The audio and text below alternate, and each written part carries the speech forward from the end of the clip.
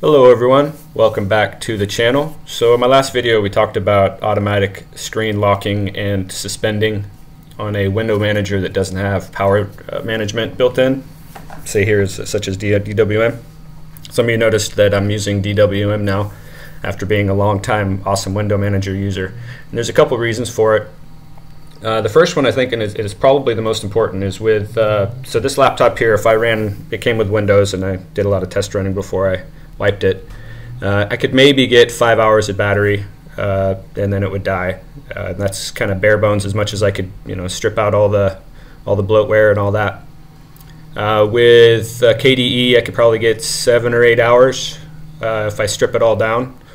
And with Awesome, probably about the same. The problem with Awesome is a lot of the Lua scripts that run in the background. If you wanna, if you want some kind of widgets at all, they update pretty quickly or pretty rapidly and they kind of drain the battery pretty quickly and it's not really easy to change that. And the cool thing about DWM is that these uh, these this is DWM blocks. You can have each one of these modules like the weather, the updates, you know, the weather updates once a day, update package manager probably every couple hours or, or even less if you wanted. It's not very not, even at that point it's not very often. Memories not very often, probably once a minute or so the fast ones are probably the CPU and the network, just because you kind of want to see what those are doing. I think I have CPU every two seconds, and network probably the same every two seconds or so. Temperature, who knows, it's every couple minutes.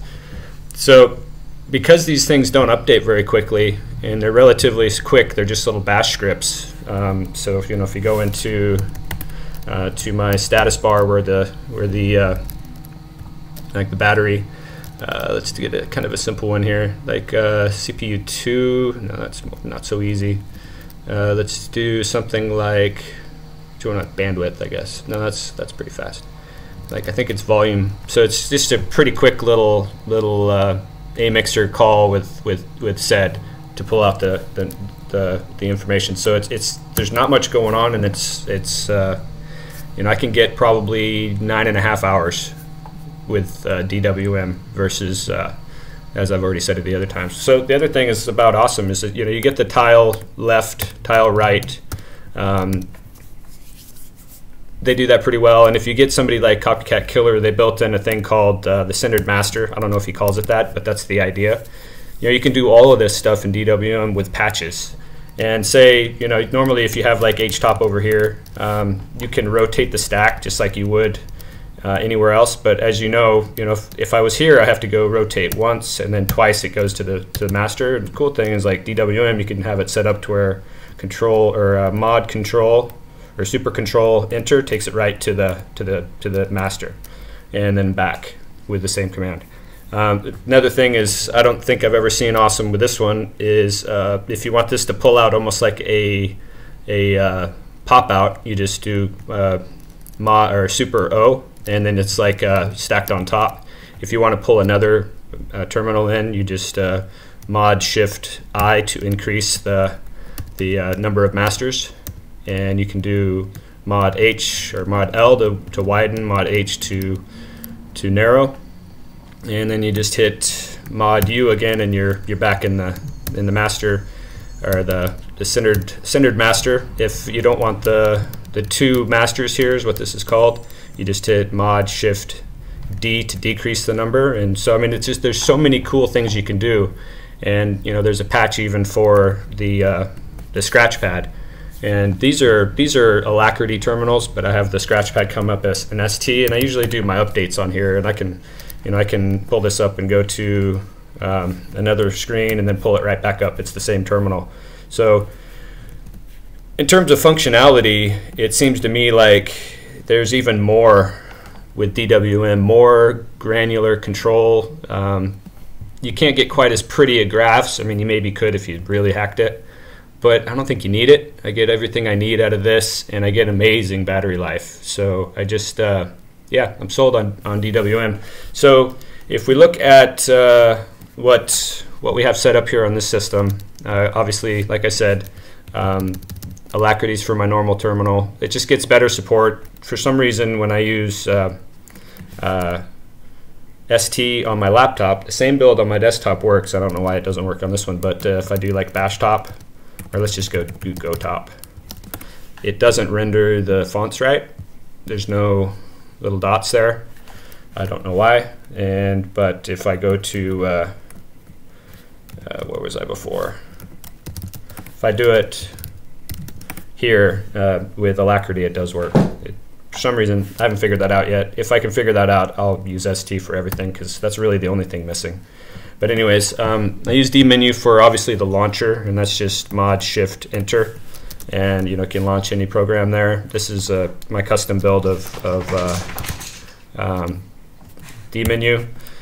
I use it for recording. Obviously, that's what I was was just uh, using now, and it's got a little module in there to, to show that it's recording up here. Uh, screen capture, same kind of thing. I can just hit uh, screen, uh, screen cap, and I don't know if it just took it or not, but I probably just did. And then got to thank uh, Luke Smith for the emojis. Um, just a really handy little. It's really good for like replying to YouTube videos. It's just it's just really handy, and also have it set up for LastPass um, so that you know you have to log in once, but uh, got it uh, set up for a LastPass uh, password management, so I can use something like qutebrowser and not have to have a an attachment. So as for the layouts, uh, we've already talked about uh, tile. Uh, floating is pretty obvious. Uh, monocle, so if you're in full screen mode, so let's go back over here and we did a mod M, we're in monocle and it's just basically stacking. Um, horizontal grid, so this is pretty cool. Uh, this is one of the layouts I would do if I was um, uh, running Gentoo. is I'd have, you know, my main things going on up here and then I'd have like fetch, and HTOP and and uh, emerge progress here. But uh, so that's available. Um, centered master, we already talked about that. That's this one, and then uh, centered floating master. That's the one where you um, where they stack like this, or it's floating up front. And then spiral, if I can remember, I think it's just mod S. Yeah, that's spiral. And then and then uh, dwindle is the opposite, so um, it just you know does the same thing but in the opposite direction. It goes into the right hand corner every time as opposed to uh, spiral which goes into like the actual Fibonacci there. So got all the got all that going. Uh, I don't have a list of all the. Um, I deleted this the the the uh, the actual diff files for patching. Um, but if I just go to say DWM you can see that, that the, you still need the Fibonacci.c in there and the horizontal grid.c in there. And everything else is where I, I, deleted them. Maybe on the next version of DWM, I'll leave the patches in a different folder so that everybody can kind of see what I've used. But so uh, at this point, as you can see, this is uh, Git repo. So I guess the news on this video is if you want my build of suckless utilities, I did in update my uh, my GitHub and it's got my dmenu, DWM, DWM blocks, and ST. I should say that uh, the ST is entirely um, Luke Smith's. So uh, ST build by Luke Smith. So so thanks to him for for that.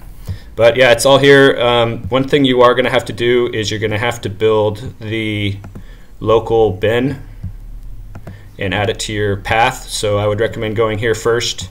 And I think this is a pretty concise installation. You just basically clone it into local bin, and then you add uh, add that to your path. I use ZSH, so I use it in ZSH profile, and then you just got to activate the the scripts, and then they should be accessible for launchers. Like I said before in my other videos, like you know, it's they're they're right there, and you, you can have them launch on auto start. But if we go back to the suckless builds, like I said before, um, it's pretty self-explanatory how to do it. You just you clone the repo, and then you go into each one of these folders and make clean install. Um, like I said, I do use Alacritty. You might have to configure Alacritty. Um, I have a, a, configuration for it that you might need to do the same. Uh, and you need to uh, create a DWM and put a wallpaper in it. Uh, so a .dwm config, and then obviously your auto start if you want to start a compositor and all that kind of good stuff. So, and then the auto start is going to run your wallpaper command and DWM block. So those are the two that you need to get this up and running. And then you can you know add Compton and Redshift and so on and so forth. I have a few more things in there. You got to make it executable, and if you do want to change it uh, from Alacritty to ST, you got to you should get used to uh, you should get used to how to deal with um, uh, configuring configuring through the config.h, and it's just right here. You just change Alacritty to ST, and recompile. You obviously have to recompile every time you change. So if you change that to ST, you need to be in the the DWM folder and install it. So there you go. Uh, I'm probably going to do my awesome window manager next. It's it's pretty nicely configured. I just need to uh, log into it. Maybe I'll do an update video in a day or two on how to get that one. It, it looks pretty good. It's just, uh, as I said before, um, I just find that this is a more, uh, just more, I don't know, usable. Kind of follows my, you know, my workflow the best that I've seen so far. So I'm totally sold on DWM. So let me know if you have any questions. Take care.